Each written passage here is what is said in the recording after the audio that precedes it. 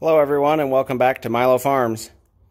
Have another snowmobile video today here doing some summertime maintenance on the Phazer. These are the two Phazers that I picked up here a few months back from a family friend. I uh, did a video a couple weeks ago um, on doing spark plugs and today we're going to be doing a video on how to get to the steering components in the front end. Uh, this particular one has, I know, a loose tie rod end um, I'm not sure what is loose on it, but I know it has a loose tie rod end. And then I, it also has some loose steering components, which is just a thing that the Phazers have always had. Uh, once I get in there, I'm going to be installing a kit made by a gentleman on the Totally Yamaha four-stroke website. Um, he goes by the username of UP Bushman, and it's the UP Bushman uh, steering uh, upgrade for the Phazers. Uh, it fits several different years, starting with this 2007. Um, once we get in there, I'll show you how to get to the parts, and then I'm not exactly sure how to install the kit. It hasn't arrived yet in the mail, but as soon as it does arrive, we'll be installing it in the second half of this video. So today, we're going to show how to at least get to the steering components, and then we will restart the video again and continue once the kit arrives. So I've already taken everything loose, all the bolts and everything loose, um, and figured out how to get there. Um, so everything's just loose, sitting back together, and I'm going to show how it all comes apart. So to start with, I've already removed the windshield. It has the four bolts, two on this side and two on the other side. then above the headlight here, in the back, there's two pins that are snapped into these rubber grommets. You pop those out with a screwdriver, and then the headlight lifts up and pulls back towards the back of the sled on these notches and comes off. This is the headlight cover. Then you want to remove the two side covers. This one here, same on the other side. It has one screw here and a screw here and a screw here. It's the same on the other side. And then the unit just pulls forward and drops down off of these little notches right here. The one on the other side is exactly the same. Then we have the headlight. And the headlight has a screw right here, a little plastic screw that goes in that hole with a little keeper. And once the screw is removed, the keeper will pop out and the top of the headlight will come loose. Then down on the bottom, there's a screw here with a spring behind it that screws into the keeper that goes here. And then the hardest part is on the very back is a little clevis pin. So here's the screw with the spring and the little tiny clevis pin. You got to take the clevis pin off first, then unscrew the screw and catch the spring before it falls down inside the motor area. There's one of these on each side of the headlight. Then you just pull the headlight forward and it has two wires attaching at the back, one here and one right here that hook to the back of the headlight, one to each bulb. Next, you'll want to take this piece off here, whatever color it is on yours. In my case, it's white. There's a release down at the bottom, just a rubber strap. Pull that loose, lift it up, and it pops right off. Then the next thing you have is the airbox cover.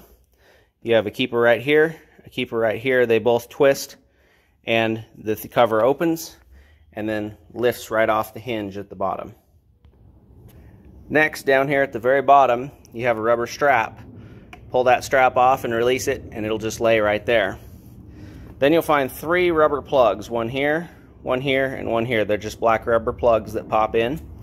And way down inside, don't know if I can get a good angle on this, there's one of them. There's Allen screws down there. There's three of them, one there and one in each of those holes. They're way down in there, but the screws are captured so they won't fall off once you get them undone.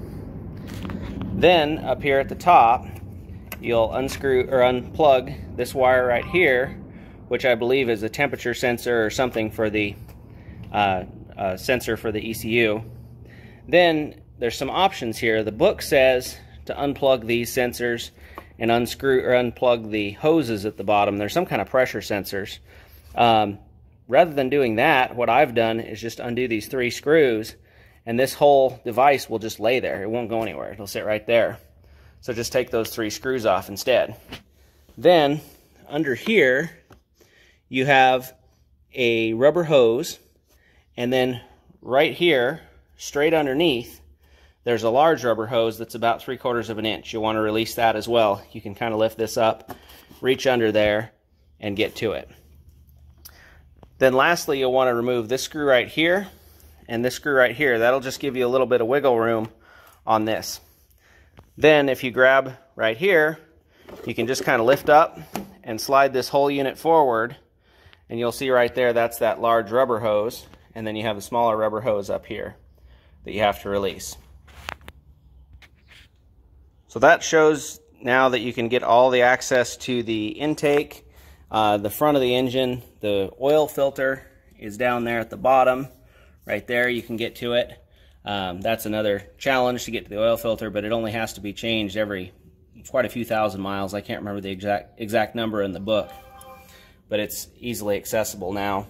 So then the next thing you have is this plastic cover on the front. There's a push pin here, a push pin here, and then a push pin on the bottom on each side. Those push pins come undone. I broke the bottom two, gonna have to replace those. And then you can work this panel out of here, which is kind of a challenge, but then it'll come out. So now you can see there's the steering components right there. And also down in here, the light isn't very good, but they're down in the very bottom down here. So the issue that these Phazers have is the spacing right here. When you twist this, this piece right here has too much up and down play. And then additionally, Back here in the back, in the dark, there's some plastic bushings and some metal bushings that go bad or were very sloppy from the factory. And uh, Mr. UP Bushman's kit is supposed to correct that.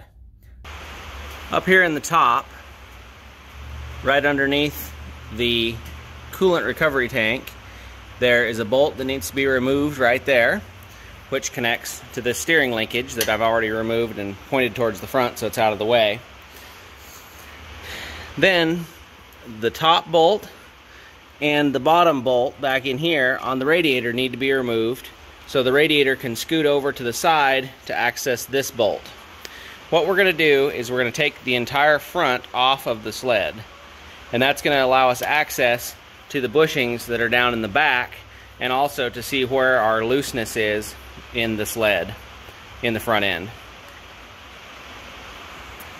So there is a bolt here, a bolt right here,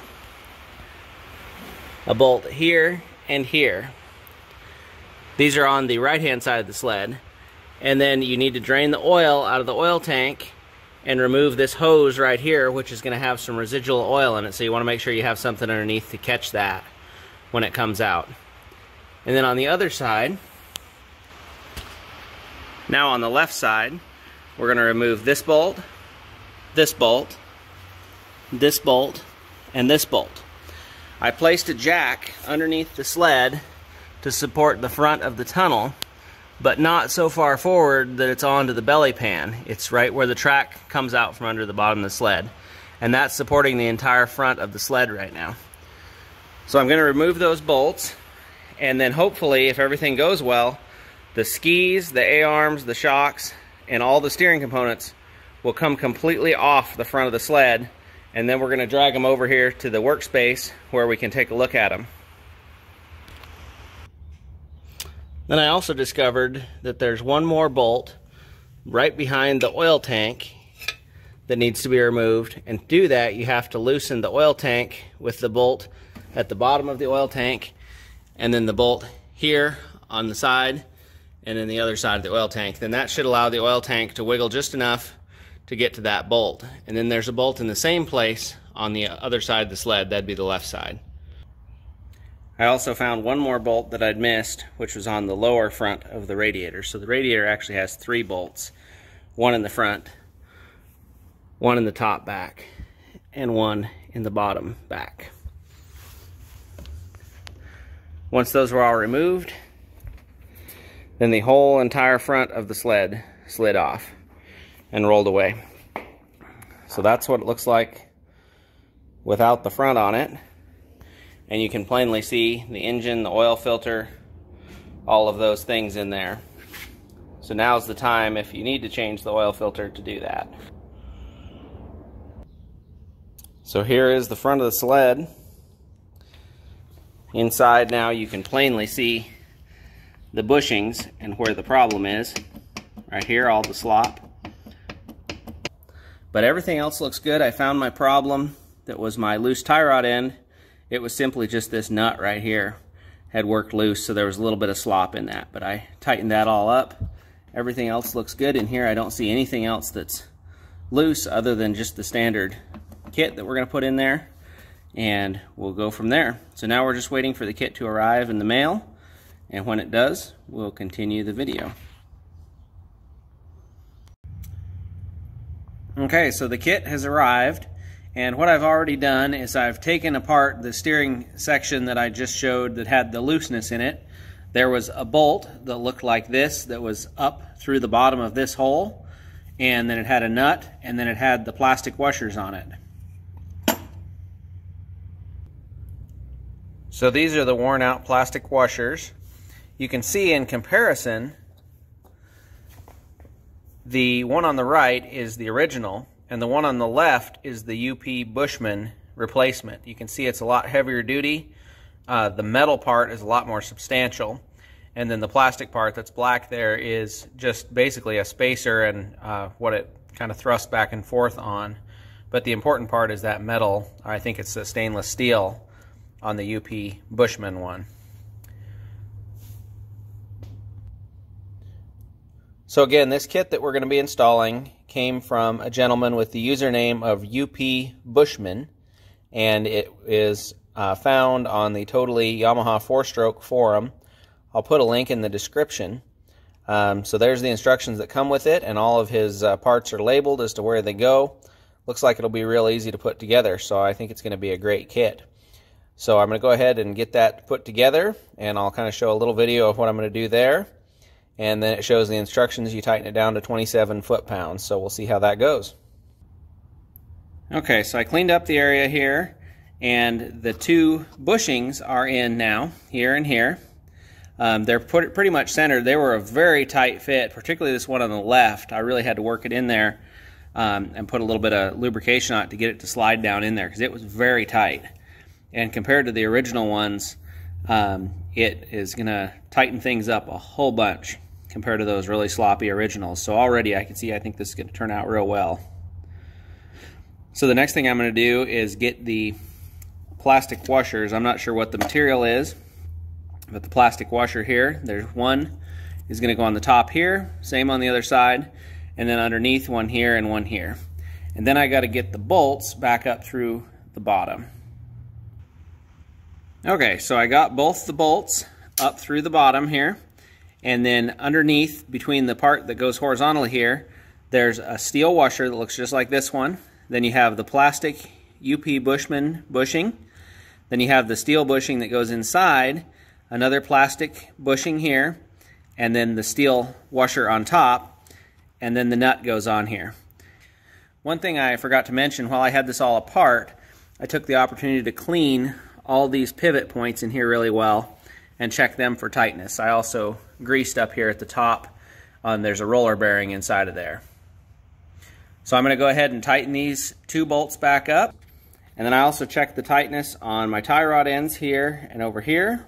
I found both those to be slightly loose as well, so I tightened those up. Everything looks good under here. Uh, definitely took a whole lot of the slop out of it. Um, now we're going to move up to here and put on the next three uh, plastic washers that go up here. So as I said before, I went ahead and cleaned this up, uh, re-greased this uh, roller bearing that's inside of here, and got it all put back together. So now we're going to put the next washers on. So these two washers are labeled lower. They both go on here. They push down over this somewhat tight. And so I'm going to go ahead and put both those on, and then the next piece, I will show that in just a second. So had a little battle getting this all back together.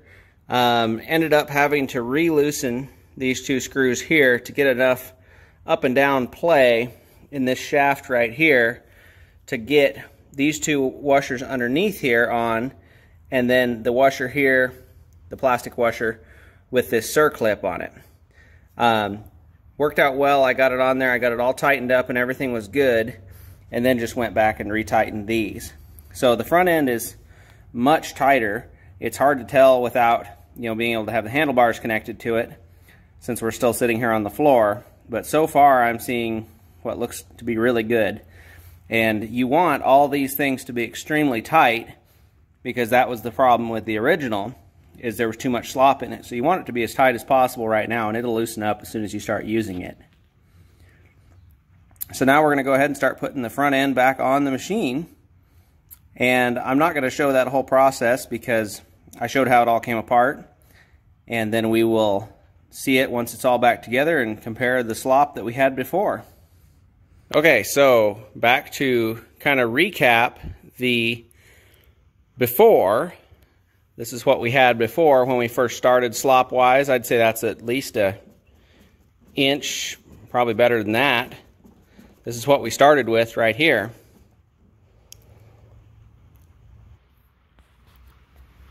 Okay, so we got the front end put back on and we got the oil put back in the machine. Um, got the radiator put back on, got all the bolts tightened up around the edges. Um, just kind of enough I wanted to try to start it and just make sure that the uh, everything runs and works like it's supposed to before I bury everything again because we did have this thing pretty torn apart. Um, what I also did while I had the front end off is there was a uh, I don't know if it was a service bulletin or if it was just a common problem or what it was, but the starters on these, which are right under the motor, directly available once you take the front end off like we had it. Um, the starter bolts were not real tight or were not Loctited from the factory and they can work loose and they can uh, cause the starter to come apart and or fail um, on the trail. And so I went ahead and I checked those, tightened them up. They were a little loose, nothing serious, but I Loctited them just to make sure. Um, also went ahead, changed the oil filter, did all that while I had it apart. Looked everything over real well, didn't see anything else wrong while I was in there. Um, so we'll go ahead and we'll show what the after looks like on the handlebars. And you can see right here, that's all the play we have. And I can look down inside and I can see that that's just tie rod ends that are doing that. And there's so many tie rod ends on this that can wear. And if every one of them has, say, you know, a millimeter of slop in it, if even that, even a few thousandths of an inch of slop, um, all that adds up up here on the handlebars and you have quite a bit of slop. But for right now, that's where we're to stop with the, uh, the repairs on this because I think everything else is really in good shape and maybe down the road if we have another tie rod end or something here or there that needs replaced, we'll do that, but nothing serious. Um, but overall, very happy with the kit so far. It doesn't really stiffen up the steering more so than what you'd expect. I mean, uh, right now it's sitting on these uh, dollies underneath the front wheels, but uh, really didn't tighten the steering up un unusually, and I'd imagine once it's ridden, it'll it'll start to lighten up a little bit more even once it kind of breaks in. But down here in the bottom, Again, I know you can't see it because it's dark down there. Where we had all that slop before, that slop is zero. Um, so the UP Bushman uh, steering kit did a great job. Very happy with it. Again, you can get that kit if you go to the Totally Yamaha four-stroke uh, website. Um, down at the bottom of this page, I'll put a link to the, the page where you can find the information to order one if you'd like to. You just email the guy and PayPal him, and he'll send it to you. I got mine in about a week. Um, real easy. I've heard that if he doesn't get back to you right away, you'll uh, he's just busy and he'll get back to you within a few days and haven't heard any complaints at all. So we'll give an update down the road on this and see how it goes when we get some snow. It's still early in the summer and we have a long ways until we get some snow. So trying to get all the work done on these. I think this is really going to be the last uh, snowmobile video we have until we get uh, get into winter and then we're going to try to do quite a bit of videos of different places that we go. So again, real happy with the kit, and uh, we'll see you next time here on Milo Farms. Please like, comment, and subscribe.